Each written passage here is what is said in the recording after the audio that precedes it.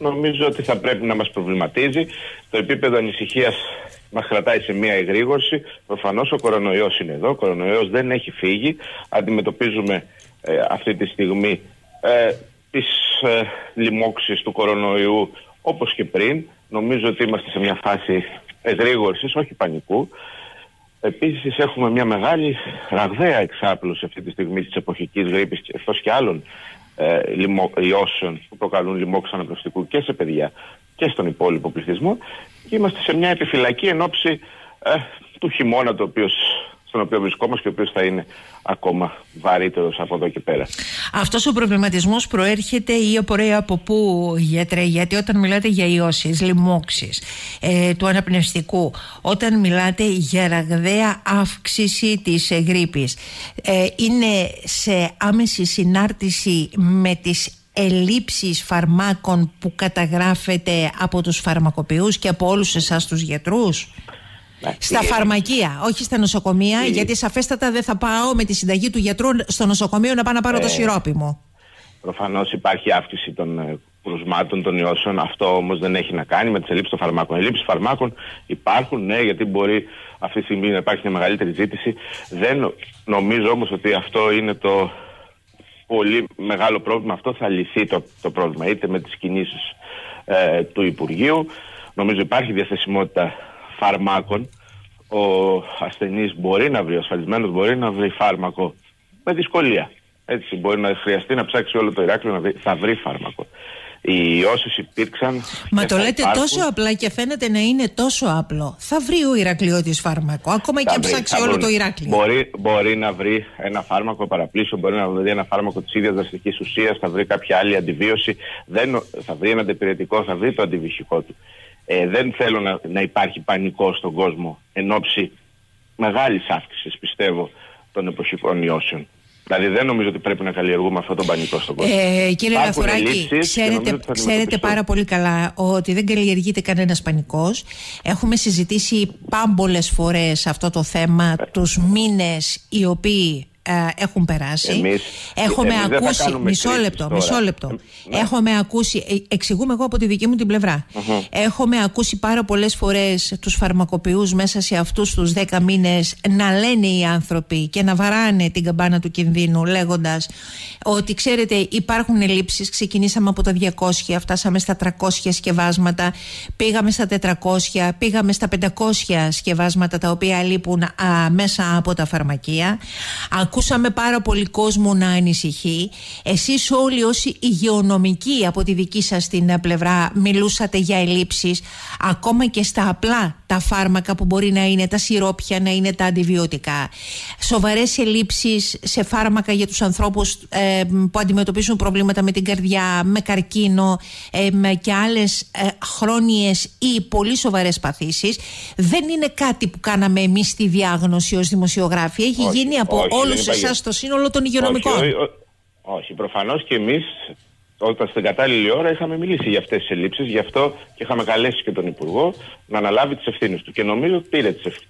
Ανέλαβε τις ευθύνες του. Και από εδώ και πέρα περιμένουμε τα αποτελέσματα. Γι' αυτό και δεν θέλω να είμαι αισιόδοξος ότι όλα αυτά θα έρθουν σε ένα δρόμο φυσιολογικό και κανονικότητας. Για να ξέρει και ο κόσμος ότι θα έχουμε τα εφόδια να αντιμετωπιστούν mm-hmm. οι ιώσεις, τα χρόνια του προβλήματα όταν ήταν η ώρα τα είπαμε στον Υπουργό. Νομίζω από εδώ και πέρα πρέπει να δούμε και το έργο του.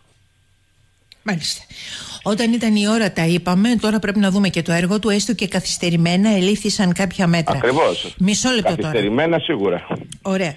Ε, λέγεται από τους φαρμακοποιούς και γι' αυτό το λόγο σας το μεταφέρω έτσι απλά. Δεν είμαι ούτε γιατρός ούτε φαρμακοποιός. Δεν παίρνω αυτή την ευθύνη να πω το έκανα. Απλά το κρίνω ως πολίτης και ως δημοσιογράφος. Γιατρέ, έρχομαι στο ε, ιατρείο σας για να το δω λίγο στην πρακτική του τη διάσταση για να μου συνταγογραφήσετε το οποιοδήποτε φάρμακο. Εάν μέχρι σήμερα είχα τη δυνατότητα να πηγαίνω στο φαρμακείο ε, και να παίρνω ένα σιροπάκι να παίρνω ένα αντιβιωτικό ε, να παίρνω ένα Depon δεν ξέρω τι σήμερα συνταγογραφείτε τι; Έρχεστε στο ιατρείο μου για να εξεταστείτε ναι. Αυτό θα γίνεται. Όταν είστε άρρωστος, όταν έχετε κάποιο πρόβλημα υγείας, έρχεστε στο ιατρείο μου για να εξεταστείτε. Δεν έρχεστε στο ιατρείο για να συνταγογραφήσω αντιβιωτικό. Το αντιβιωτικό είναι ένα φάρμακο που θα κρίνω εγώ κατόπιν εξέτασης. Ούτε ο φαρμακοποιός θα το δώσει από το ράφι, ούτε εσείς θα πάτε να το πάρετε από το ράφι. Αυτό πρέπει να είναι ξεκάθαρο. Ούτε το αντιβιωτικό, ούτε και κανένα άλλο φάρμακο. Όλα τα φάρμακα θα χορηγούνται κατόπιν ιατρικής εξέτασης και εκδίδεται ηλεκτρονική συνταγή. Αυτό γίνεται σε όλο τον πολιτισμένο κόσμο. Αυτό δεν είναι και καινούριο. Αν στην Ελλάδα, αν στην Ελλάδα ο καθένας μπορούσε να αγοράσει το φάρμακο ας ήταν όπως είναι ένα ζευγάρι παπούτσια, αυτό δεν ισχύει πια. Πρέπει να το καταλάβετε. Δεν είναι και καινούριο. Το φάρμακο είναι προϊόν εξέτασης και ιατρικής συνταγής. Δεν είναι και καινούριο. Είναι η τρίτη φορά που το επαναλαμβάνω. Ε, και τα προηγούμενα χρόνια την ίδια συζήτηση κάναμε ότι θα πρέπει ένα φάρμακο για να το πάρω να μου το γράψει ο γιατρός μου αφού πρωτίστως με εξετάσει γιατί διαφορετικά γίνομαι εγώ γιατρός του εαυτού μου με όποιους κινδύνους ενέχει αυτή μου η απόφαση. Και, ε, ναι. και προφανώς ναι και, αυτοί, και αυτές μας οι ενέργειες είναι και αυτές οι οποίες σε πολλά πράγματα δημιουργήσαν και λήψεις φαρμάκων. Τι Μα, μόνο και μόνο με την, την υποχρεωτική ηλεκτρονική συνταγογράφηση των ιβετικών μειώθηκε η κατανάλωση των αντιβετικών περίπου στο 20%. Mm. Γιατί αξιολογήθηκε σωστότερο ο ασθενής πότε έπρεπε να χορηγηθεί κάποιο αντιβετικό. Το ίδιο θα πρέπει να γίνει και με τα υπόλοιπα Ωραία. φάρμακα. Αυτή είναι η ορθή πρακτική και για τα σοβαρά φάρμακα που θα πρέπει να πηγαίνουμε στο γιατρό μας. Δεν το συζητάμε αυτό. Δεν είναι κομμάτι της κουβέντας, αλλά καλά κάνατε και το επαναλάβατε.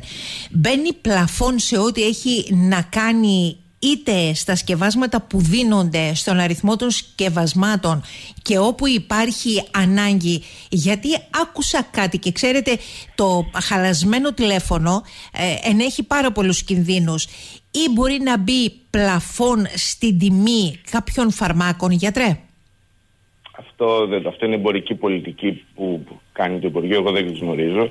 Προφανώς θα, θα μπει πλαφόν στην τιμή ε, της διάθεσης κάποιων φαρμακευτικών σκευασμάτων ώστε να μην γίνονται και οι, οι αποσύρσεις που έχουμε κάποιων σκευασμάτων που είναι πάρα πολύ φτηνά. Αυτή νομίζω είναι η λογική του Υπουργείου, η οποία βέβαια δεν μπορώ να την εξηγήσω εγώ εμπορικά.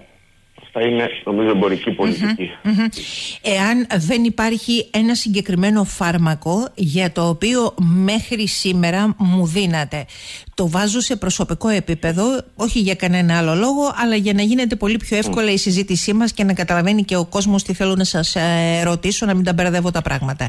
Εάν λοιπόν εγώ έρχομαι και μέχρι σήμερα μου χορηγείται ένα φάρμακο Α, εάν αυτό δεν υπάρχει με την ίδια δραστική ουσία, παίρνετε εσείς την απόφαση να μου χορηγήσετε ένα άλλο φάρμακο και πάμε στα γενώσιμα; Διότι και η κουβέντα αυτή κρατάει επίσης πολύ κύριε Λαθουράκη.